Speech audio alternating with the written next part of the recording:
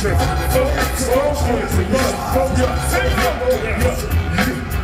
on a nigga who tried to run game on a nigga who fuck wild with the trigger. Shame on a nigga who tried to run game on a nigga. Run my fuck your hands up. Up one, up two.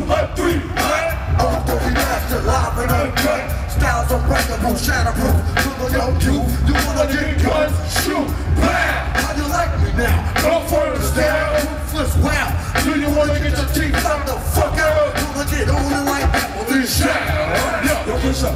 Up, up, hit me with the major.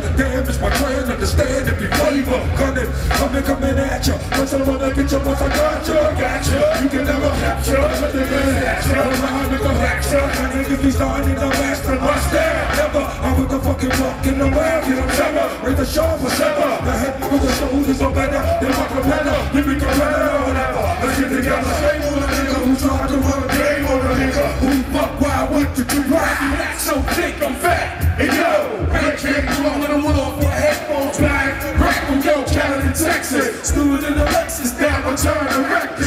my publishing hamster, but they heard half of it. And I'm jumping out of the vet. So niggas see me on the real, fall like Voltron. Remember, I got teeth like a babysit. Game on a nigga who tried to run game on a nigga. Who fuck wild with the trigger. Game on a nigga who tried to run game on a nigga.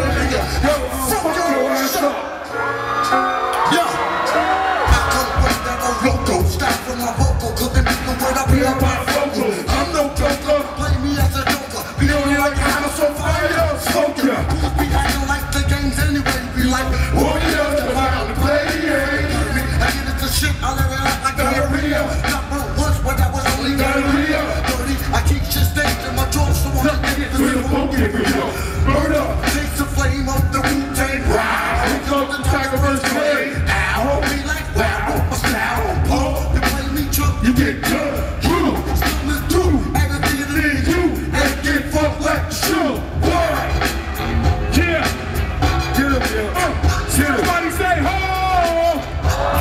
Say ho. Woo, do that shit, Johnny. do that shit, nigga. Ah, shit.